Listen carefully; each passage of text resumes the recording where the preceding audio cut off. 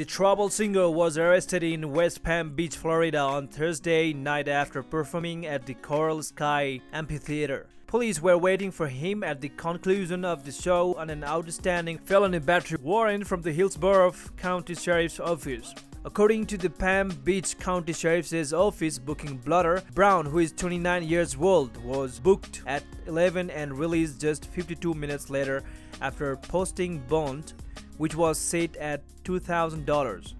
He had enough time to pose, looking serious for a new mugshot. While authorities haven't yet said what the outstanding warrant was for, TMZ reports that the, it was issued in connection with an assault case.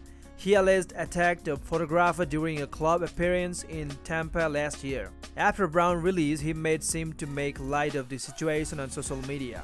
He shared a photo, presumably from last night's show, captioning it, What's the new along with an emoji rolling its eyes. He also promised fans he will be back at tonight in Tampa. His heartbreak on a full moon tour next goes to Alabama, North Carolina, his native Virginia, and then the Northeast.